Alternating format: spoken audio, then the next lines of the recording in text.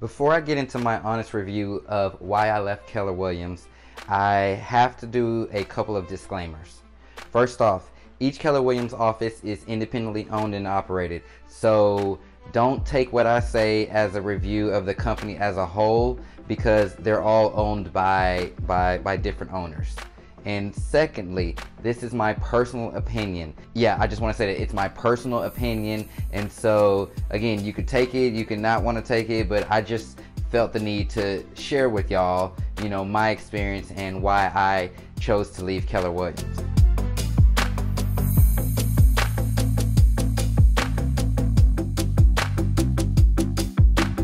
So when I first got to Keller Williams, or the reason why I chose to go to Keller Williams was I was studying for my licensing exam and I was trying to find a brokerage to go to. And like many of you all, you don't really know where you want to go and you just want some advice. And unfortunately, at the time when I was taking my license, there wasn't like a lot of YouTube videos out there giving you advice on different brokerages, but I was reading blogs and I saw like a lot of blogs and people who I would just ask, they would say, Oh, Keller Williams has great training and it's a great place for a new agent to start. And so I kept hearing that over and over and over again. And so I was like, okay, well, I'm going to be a new agent and I need to be trained. So I'm going to go to Keller Williams. And that was the reason why I decided to, to go to Keller Williams. I didn't have any friends or family there or anything. It was literally just a bunch of reading and hearing from people that Keller Williams was the place for a brand new agent to go. I'll say as I as I started working in real estate and as I was at this office, I I was starting to, to notice I I wasn't really getting like a lot of help. I, you know, they did have a great training program and they did have a lot of um, curriculum in there, but after that was over, I kind of just felt like, here, there you go, like, like go, go, go do it, and and that's all right, I guess, but I I needed more help and unfortunately there wasn't anybody there that could could could really show me. I mean people were, were there to i mean to, to answer questions for me but i didn't really know what questions i needed to be asking. And so i, I just literally felt like i had no direction. And so that was my first issue just just just kind of the lack of help and mentorship at this particular office that i was at. Next as i started doing transactions I I felt like I was spending a lot of money at this brokerage. Like for one, I had my split, and then they had other like franchise fees or you know whatever little fees. Then I was paying for copies. Like I couldn't even print documents for free, and it was just all starting to add up. You know that was a brokerage where you had to pay for every single thing for yourself, um, signs, like all that kind of stuff, which which which is pretty typical, but I mean, copies, you know, I, I was just like, okay, I can't even print a contract for free if, if, if I wanted to make some money.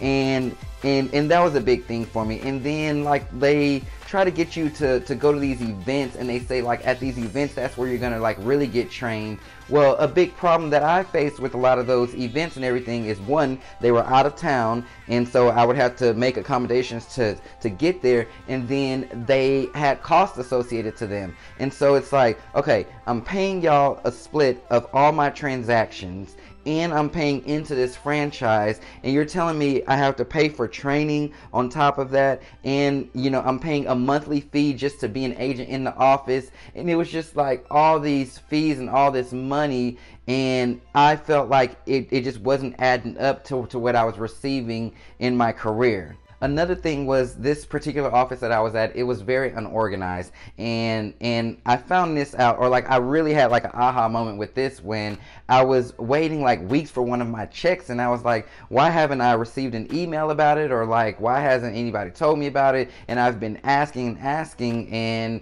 and nobody seemed to know where this check was and you know i asked like one final time and i remember the the lady who hands out checks she like turns around to her to her um, printer and shuffles through these papers and like pulls my check out of there and like, oh, here it is. And I'm just like, you gotta be freaking kidding me. It it just blew my mind and I was like, I've been sitting here waiting for my money and you have it stuck in some of your your papers and just like the calendars and all like it was just so unorganized and I didn't really know any better but I knew that like all real estate offices couldn't operate like this or nobody would, would, would be happy anywhere. And so at this particular office, this was a big thing. Like I'm a pretty organized person and I would expect to, to for, for someone to treat my money differently than you know just like a stack of papers and and and that was a a, a really eye-opening moment for me um what else oh like at this particular office that I was at, like there wasn't anybody that was doing, you know, uh, just a tremendous amount of real estate. I mean, there was there were successful people there, but I felt like I was aspiring to be one thing, but there wasn't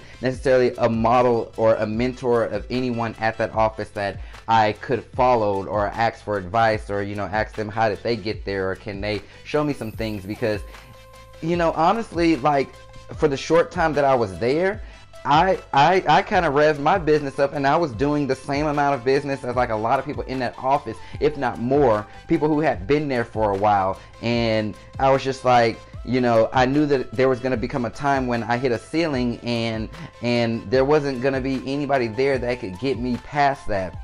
And y'all, so here's here's here's the the the straw that broke the camel's back of me at Keller Williams. I remember one day and I'll never forget this. And you might find this story to be funny or stupid, but whatever. I remember this one day that um, someone delivered me something. Someone had an expensive cake delivered to me as a thank you gift, and they let me know that they had sent me this to my to my office. And so I had been out in the field all day, and I was like, okay, well I'll go grab it later. So I get back to the office later. The cake is gone and I was furious because not only was it gone, I saw the box in the trash can and I saw plates and forks like they just went to town on it. And so I questioned the lady at the front desk and I was like, "Hey, this cake that was supposed to be mine and you know, oh yeah, we we we we ate it. We didn't know like when you were coming back. Like mind you, it was the same day, just hours later. We didn't know when you were coming back." And then she goes, "But it was really good though." and y'all like I almost lost my shit.